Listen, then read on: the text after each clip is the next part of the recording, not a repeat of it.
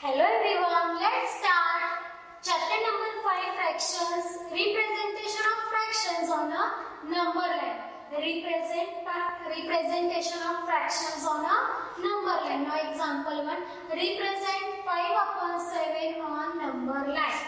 What we have to represent on number line? 5 upon 7 we are going to represent on a number line. Okay, now see 5 upon 7 we are going to represent on a number line. So first draw the number line. Draw the number line. Represent 0 here. Okay, 0.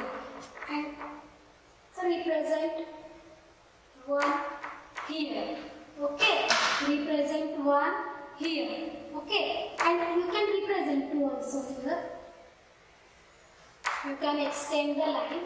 You can draw here.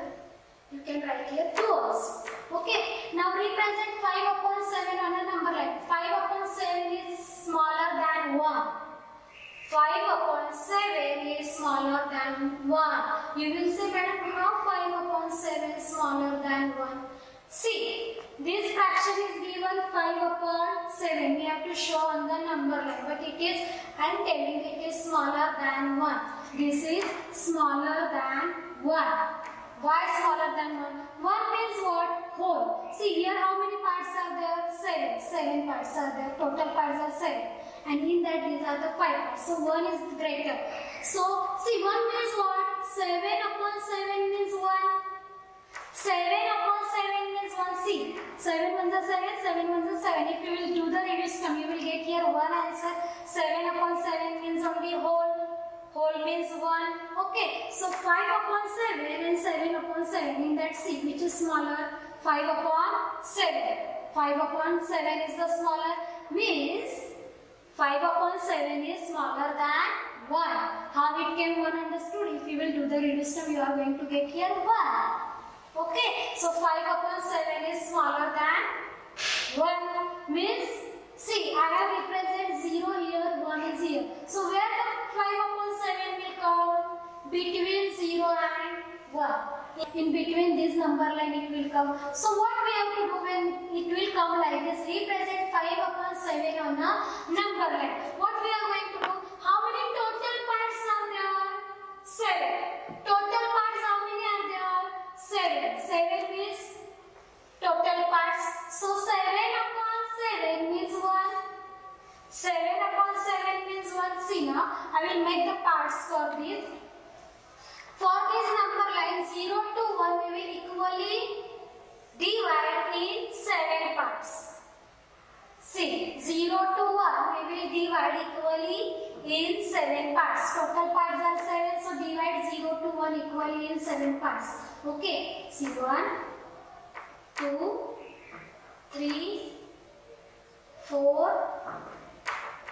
5, 6 and this is 7. Okay, this is 7th part. This is 7th part. You take measurement and draw. Equally divide. Okay, 7th part. 7 upon 7. See 1, 2, 3, 4, 5, 6, 7. 7 part C. So this part is 1 upon 7. This part is 2 upon 7. This part is 3 upon 7. This part is 4 upon 7. This part is 5 upon 7. And this part is 6 upon 7. And this part is 7 upon 7. So 7 upon 7 means only 1. 7 upon 7 means only 1. So 5 upon 7 is the smaller than 1. 5 upon 7 is the smaller than 1. So where is the 5 upon 7? Here. So for this we have to give the name P. Represent 5 upon 7 on a number line. So P represent 5 upon 7 on a number line. So how to represent 5 upon 7 on a number line understood? See, denominator 7. So make the equal parts from 0 to 1, 7 equal parts we have to make. From 0 to 1, in that 7 equal parts we have to make and then we can show the 5 upon 7 on the number. Let's learn now types of fraction. Proper fraction. What is proper fraction? Numerator is smaller than denominator. That fraction is called proper fraction. fraction. See now examples for proper fraction I will give. Suppose 4 upon 7, 8 upon 9, 6 upon 15, 12 upon 19. These are the examples of proper fraction. These are the example of proper fraction. What, now what you observe in this? Why these fractions are called pro proper fraction? Because its numerator is smaller than denominator. If the numerator is smaller than denominator, that fraction is called proper fraction. If the numerator is smaller than denominator, that fraction is called proper fraction. Okay, now if you will see, always proper fractions are less than 1. All proper fraction have value less than 1. These all the fractions are less than 1. Okay, now improper fraction. What is improper fraction? In improper fraction, numerator is greater than denominator. In improper fraction, suppose now 12 upon 5, 13 upon 6, 18 upon 4. Is all the fractions are improper fraction? Why? Because its numerator is greater than denominator. Its denominator is smaller than numerator. Its numerator is greater than denominator. So these fractions are called improper fraction. These all the fractions are improper fraction. Why these all the fractions are improper fraction? Because its numerator is greater than denominator. If you will see, see 12 is greater than 5. New, the numerator is greater than denominator. That fractions are called improper fractions. Let's see now what is mixed fraction. See.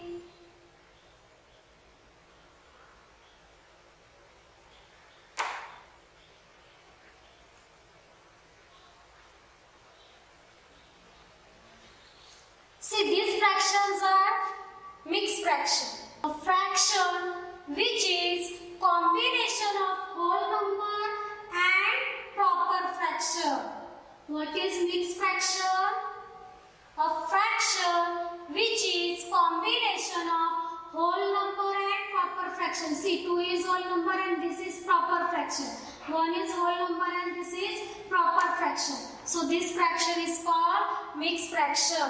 A fraction which is combination of whole number and proper fraction is called mixed fraction. Let's solve conversion of improper fraction to mixed fraction. Conversion of improper fraction to mixed fraction. Now see example. Express 29 upon 6 as a mixed fraction. Express 29 upon 6 as a mixed fraction. Now what we can do this 29 upon 6 means 29 divided by 6. So divide for 29 by 6. 29 divided by 6. Okay. This we have to convert in the mixed fraction. Now this is improper fraction 29 upon 6 is improper fraction. Why it is improper fraction? Because its numerator is greater than denominator. So this fraction is called improper fraction and improper fraction we are going to convert in the mixed fraction. So what to? Divide for 29 by 6. 6 4s are 24. Okay, so 9 minus 4, 5, 2 minus 2, 0. So now how to convert these? Denominator 6, as it is we have to write. See this we got, what we got? Quotient that we have to write here as a whole number part. Okay, and remainder we have to write as a numerator. And remainder we have to write as a numerator. See, 6 as it is denominator 4 we got quotient that we have to write as a whole number part. This is whole part and the remainder which we got 5 that we have to write up for the numerator. Okay? Understood everyone see. This is our 4 is our whole number part. See 4 which we got the quotient that is whole part.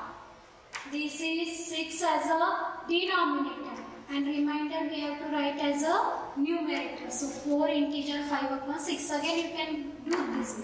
6 4s are 24, 24 plus 5 29, 29 upon 6. This way you can read. So after convert understood? You have to divide 29 upon 6. You have to divide this. Then the quotient which you got that you have to write as a whole number part and 6 as it is denominator and remainder which you got that you have to write as a numerator for these. Okay. So 4 integer 5 upon 6 is the mixed fraction for this. Let's learn converting mixed fraction into improper fraction. Okay, in that example, see, this is first example 3 integer 5 upon 7. I have to read this number 3 integer 5 upon 7. Now this is mixed fraction and we are going to convert in the improper fraction. This is mixed fraction. We are going to convert in the improper fraction. So what we are going to do for that? See, whole number part which it is 3. 3. So whole number multiple by denominator we are going to multiply okay and in that plus 5 we are going to do add 5 in that means numerator we have to add in that and write denominator as it is. Okay. See which numbers we are going to multiply? 3 into 7 means these into these. Means whole number and denominator we are going to multiply. And in that we are going to add 5 and write 7 as a denominator as it is. Denominator we have to write as it is. So 3 7s are 21 plus 5 upon 7. So 21 plus 5 how much we got? 26. Okay, 26 upon 7. So we got now improper fraction. See, 26 upon 7. 26 is numerator and 7 is denominator. Now see, numerator is greater than denominator we got. So we converted mixed fraction into improper fraction. What we have to do in this? See, do the multiplication of whole number into denominator. In that numerator we have to add as it is denominator we have to write. Okay, so 3 sevens are 21 plus 5 in denominator as it is 7, 21 plus 5, 26 upon 7. Same way now here also we are going to do what I said. What we are going to do for this? 4 multiplied by 7. Whole number it is 4. 4 multiplied by 7. Whole number multiplied by denominator. Okay.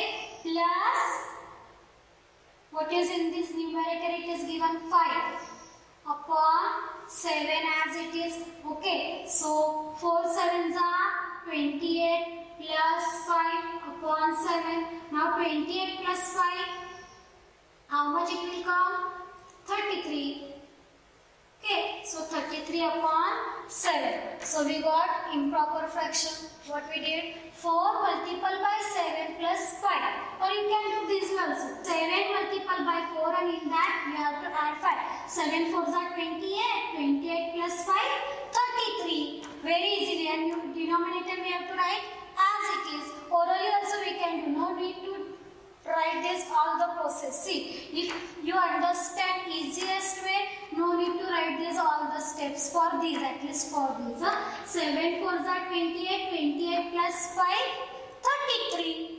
Understood how to convert mixed fraction in the improper fraction?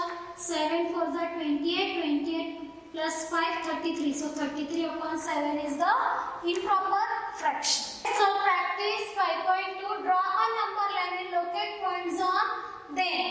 Draw a number line and locate points on them. Now see here 1 upon 7, 2 upon 7, 3 upon 7 and 4 upon 7. So total parts how much? 7. Denominator see. Everywhere it is 7. So draw a number line locate the point 0 okay 0 here. Then how many equal parts we are going to do? 7 see this is 1 2 3 4 5 6 7 yes denominator is 7 so for this number line I give 7 parts. 7 parts means it is 1 7 parts means it is 7 upon 7 means whole. So 0 to 1. This is 0 to 1. Okay. See 0 I will write here 0 to 1.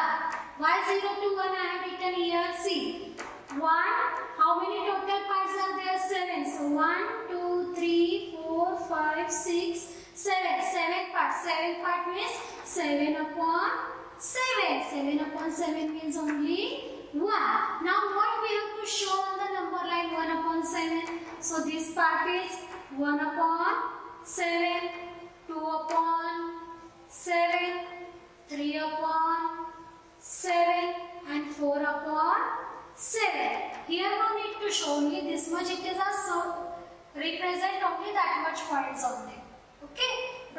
Line, number line and locate points on them. See this point is 1 upon 7 this is 2 upon 7, 3 upon 7 and 4 upon 7.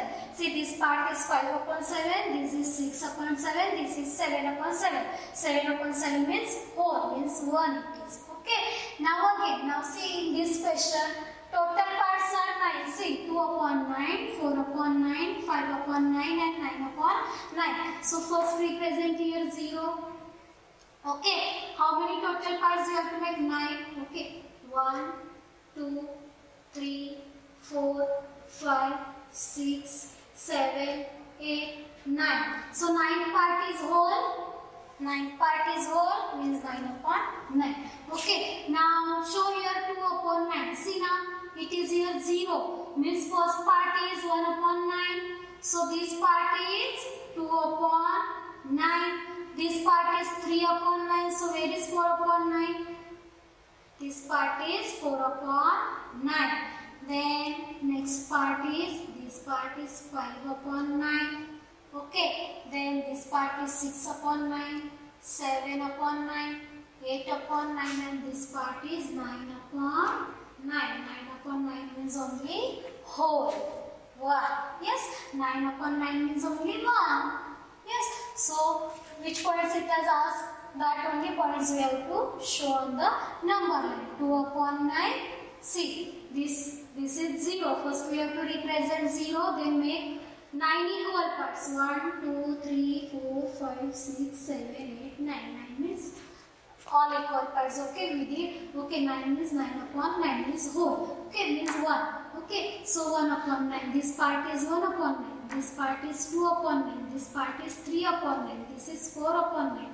5 upon 9, 6 upon 9, 7 upon 9, 8 upon 9 and 9 upon 9.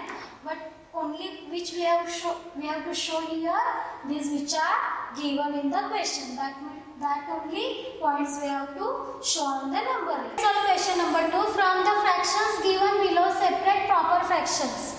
We have to separate proper fraction. What is proper fraction? If the numerator is smaller than denominator. That fraction is proper fraction. When the numerator is smaller than denominator, that fraction is proper fraction. Now see, first fraction. See here I am writing proper fraction.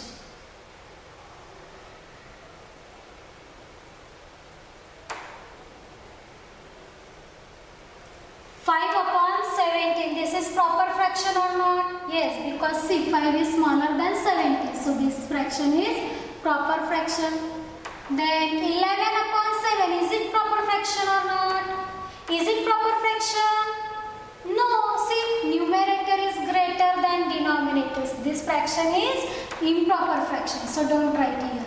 3 upon 8, 3. See numerator is smaller than denominator. 3 is smaller than 8. So this fraction is proper fraction. 3 upon 8.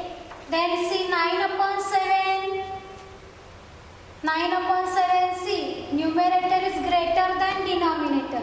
So this is improper fraction. So don't write here. See this is also not this is also not proper fraction. Only we have to write here proper fraction. So these are not proper fraction.